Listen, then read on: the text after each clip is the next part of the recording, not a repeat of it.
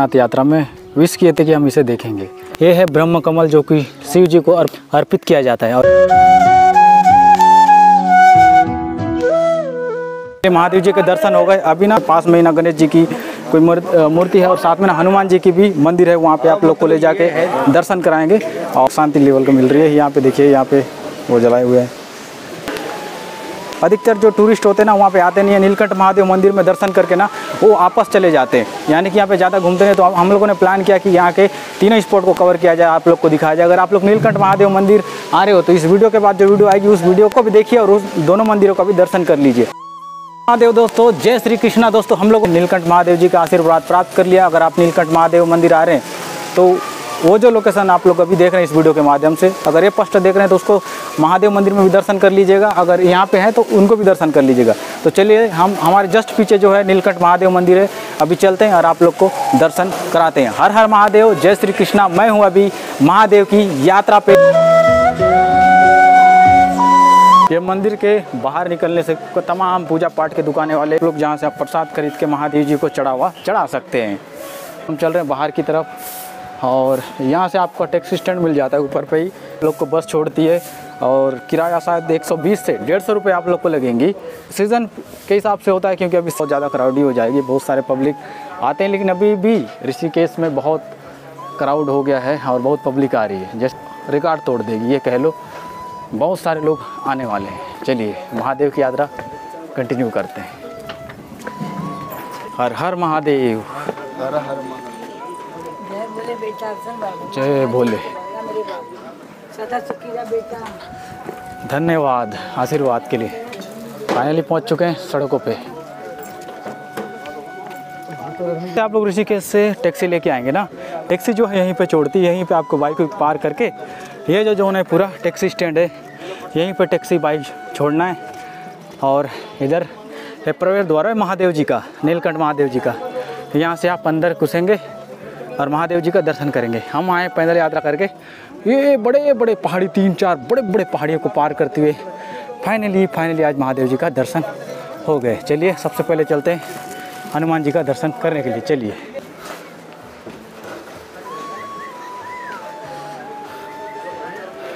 ये महादेव मंदिर के नज़दीक है, उसके आजू बाजू में जो दुकानें हैं, वो सब चीज़ें हैं।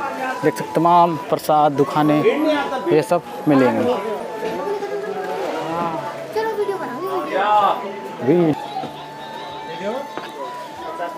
जय हनुमान ज्ञान गुण सागर।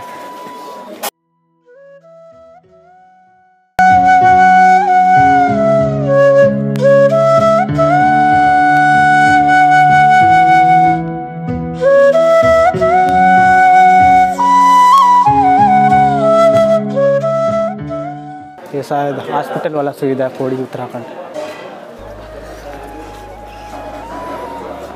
चाय नाश्ता। चाय नाश्ता। हाँ? चाय पियेंगे? पकौड़े हैं परोठे हैं चलो चाय भी पीते हैं फिर आपको। चाय पंद्रह बीस। ये देखो हमारे उत्तराखंड का प्यार। ये पता नहीं क्या बोलते हैं इसको। हमारे यहाँ भजिया बोलते हैं या पकौड़े उकड़े बोलते हैं। है है।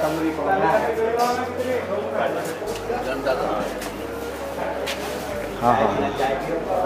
हम लोगों ने गाइस चाय चाय पी के अभी यात्रा कर रहे हैं हनुमान जी के। हम लोगों ने अभी चलेंगे। ये है यहाँ का होटल और हम लोगों ने यहाँ पे ना चाय वही पिए। सबसे पहले हनुमान मंदिर में। और जैसे नीलकंठ महादेव मंदिर में आ रहे हो ना, अगर आप कैंपिंग करते हैं हमारे जैसे तो यहाँ पे तमाम सब्ज़ियाँ मिल जाएँगी, जो कि हम लोग बाद में ले जा, लेके जाने वाले हैं, क्योंकि हम लोगों ने रात में ऐसी नमक के साथ खाना वाना खा के गुजारी। यहाँ पे देखो अरबी बिक रही है, ये सब बिक रही है। हम लोगों ने रात में, जितना रात में पहुँचे ना, हमको रोड ही नहीं दिखाई दे रहा था, दुकान कहाँ से दिखता?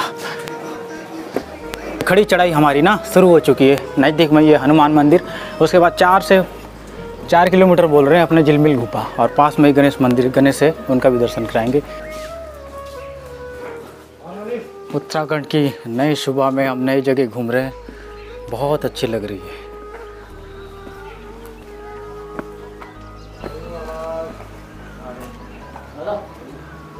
ये रही। ये जो रास्ते हैं ना दोस्तों, जो हम लोगों ने पैदल यात्रा करके आए थे, वहाँ पे अटैच करता होगा ये वाले। काल भैरवनाथ एवं महाकाली मंदिर। दर्शन करें, नीलकंठ यात्रा पूर्ण करें। जय हनुमान ज्ञान गुण सागर। यहाँ से खड़ी चढ़ाई है, ज़्यादा खड़ी चढ़ाई।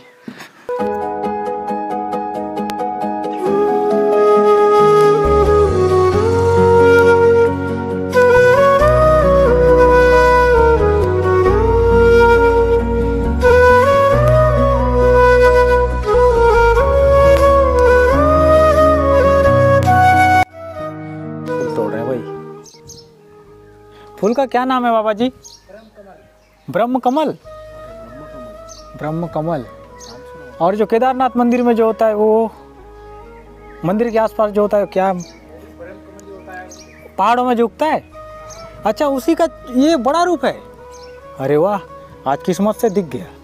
मतलब भोलेनाथ जी को चढ़ावा किया जाता है इसको। का पौधा देखा था साक्षात दर्शन हो गए चलो। ये पहाड़ पे नहीं होता वो छोटा होता है। अच्छा। क्या बात है ब्रह्म। हाँ हाँ हाँ। वही तो बोल रहे थे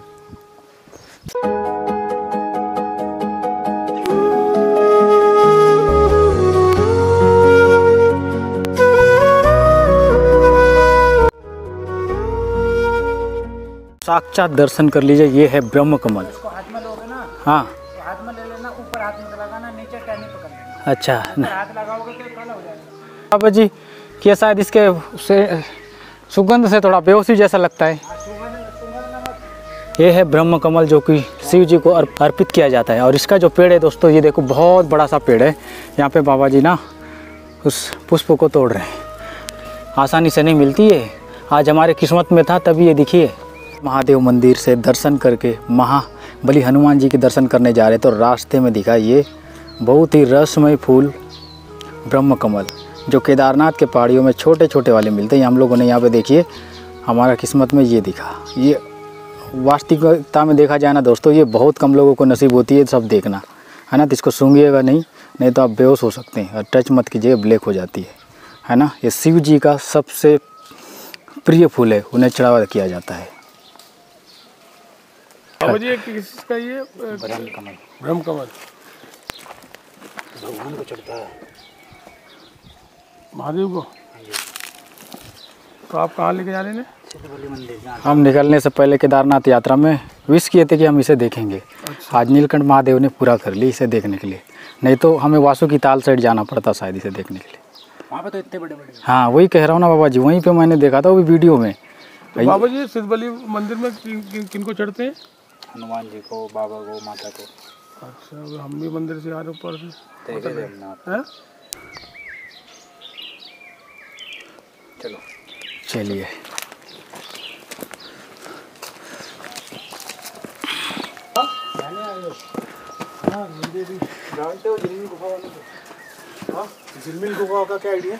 हर महादेव जय। जय हनुमान ज्ञान गुण सागर। यहाँ प्यारा लग रहा है हनुमान जी के पास, जैसे जैसे नज़दीक में जा रहे हैं। नाथ जी का दर्शन करूँगा, उसके बाद वासु की ताल की ट्रैक करूँगा। ताल में ट्रैक करने के पास मुझे देखने को मिलेगा ब्रह्म कमल, जो कि एक चमत्कारिक फूल होता है। आज घर से मैं सोच के निकला था, लेकिन महादेव की कृपा से, नीलकंठ महादेव जी की कृपा से ब्रह्म कमल मुझे इतने बड़े बड़े विशाल पेड़ों के साथ दिख गया। ये महादेव का कृपा है। ऐसा लगता है जब भी हम यात्रा में निकलते हैं महादेव जी का तो महादेव जी ना पूरा रास्ते खोल देते हैं। आप निकलो तो सही, पूरा चीज़ें जो आपको ज़्यादा मेहनत नहीं करना पड़ती।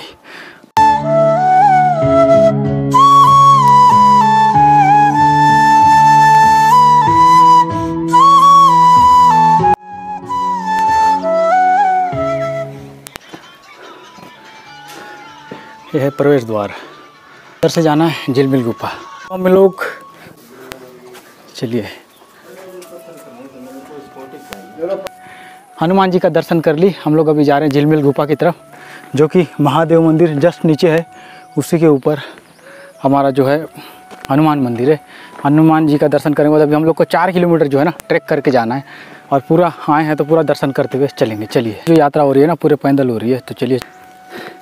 करके ना ऐसे यात्रा करी हुई है। अभी यहाँ से हम लोग को इधर को चढ़ना है। अभी बहुत दूर जाना है, कम से कम चार किलोमीटर। पहाड़ों पे खूबसूरत मोर की आवाज़ आ रही है। आम होटल यहाँ पे बनी हुई है। यात्रा के दौरान ये सभी चीज़ें रौनक में रहती है। श्रद्धालु न बैठ बैठ के चावल कड़ी दाल, यानी कि नाश्ते पानी सब करते हैं। बिल्कुल सा वीरान पड़ा हुआ छोटे छोटे कुटिया दिखेंगे और एक बड़ खावड़ रस्ते दिखेंगे। और इसी रास्ते से होते हुए आप लोग को माता पार्वती के दर्शन करने को मिलेंगे, गणेश गुफा का दर्शन करने मिलेंगे, झिलमिल गुफा के दर्शन करने मिलेंगे। पूरा पैदल चल के दिखा रहे हैं आप लोग, ताकि आप आसानी से नीलकंठ महादेव मंदिर में दर्शन करने आ रहे हो तो पैदल यात्रा करके आराम से जो है दर्शन कर सकते हैं। बाइक भी लेके आ सकते हैं, लेकिन बाइक आधा दूर तक जो है आपको खड़ी करनी पड़ेगी, उसके बाद जो है पैदल यात्रा करनी पड़ेगी। देखिए। देवता मंदिर। ये देखिए। प्रवेश द्वार बना हुआ है और लिखा हुआ है माँ पार्वती मंदिर जाने का मार्ग। तो चलिए, इस तरीके से ये ऊँचे नीचे टूटे फूटे रोड से होते चल रहे और आपका घने जंगल पहाड़ों के बीच में बसा हुआ है माता पार्वती मंदिर और रोड। देख रहे हैं किस तरीके का यहाँ के रास्ते बने हुए छोटा सा सकरा रास्ता है और रोड जो है बहुत ही जर्जर हालात में है।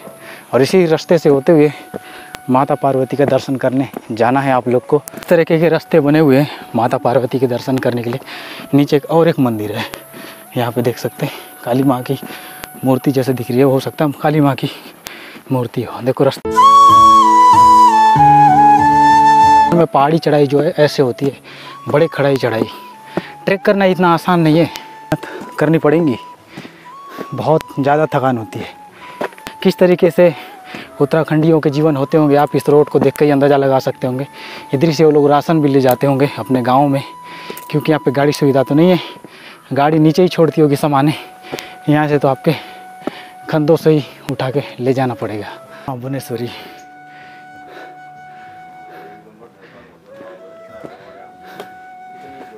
ना आपा का है अब है तो बहुत ऊँचा है। देखिए कितना सा टर्न है यहाँ पे। छोटे छोटे टर्न बदलता हुआ दिख रहा है।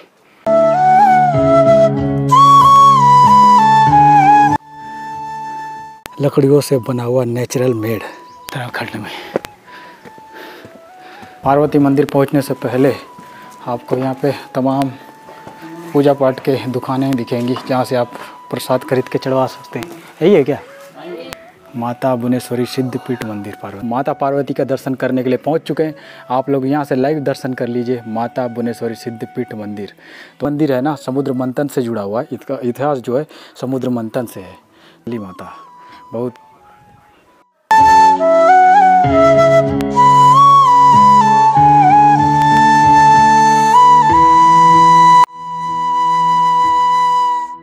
का दर्शन करने के बाद हम जा रहे हैं झिलमिल गुफा की तरफ़।